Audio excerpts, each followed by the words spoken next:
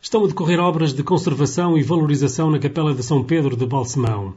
Esta intervenção, que deverá estar concluída durante o mês de abril, é da responsabilidade da Direção Regional de Cultura do Norte, está orçamentada em 63 mil euros e foi integrada no projeto Redes de Monumentos do Val do Douro, financiado pelo FEDER e pelo Programa Operacional Regional do Norte.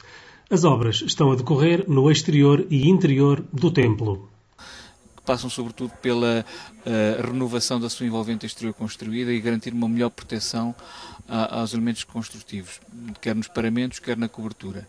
Uh, através de uma renovação das telhas e no, com tratamento também dos paramentos exteriores, incluindo também os vãos. Uh, vamos, vamos, estamos neste momento a rebocar o exterior da igreja, corresponde de facto a uma alteração à imagem dominante, mas o que é facto é que ela sempre foi, foi, foi, foi assim revocada, fazendo realçar agora os elementos de cantaria exterior e as lápides que estão encostadas nas, nas paredes. Interiormente vamos também renovar o seu, digamos, as suas instalações e equipamento de luminotécnico, no sentido de garantir uma melhor condição de iluminação e com isso também valorizar o monumento na lógica da visita pública. O edifício mantém-se aberto, apenas será fechado, digamos, nos momentos em que assim eh, por questões de segurança seja necessário eh, efetuar essa, essa, esse, esse, fecho. Uh, portanto, podemos entrar aqui um pouco no, no, no estaleiro da obra e ver o que está a acontecer durante estes, estes, estes próximos tempos.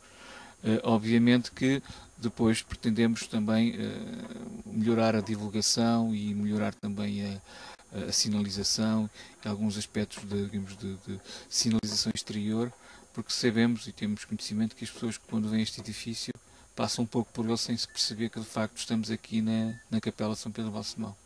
A Capela de São Pedro de Balsemão é um dos mais antigos templos de Portugal e está situada a 3 km da cidade de Lamego. Todo este edifício apresenta uma grandiosidade que permaneceu intocável às alterações sofridas ao longo do tempo. D. Afonso Pires, que foi bispo do Porto entre 1385 e 1362, está sepultado nesta capela. Na Capela Mor, junto ao altar, podem admirar-se dois retábulos com as figuras de São Paulo e uma belíssima imagem de Nossa Senhora do Ó. A Capela de São Pedro de Balsemão está classificada como Monumento Nacional.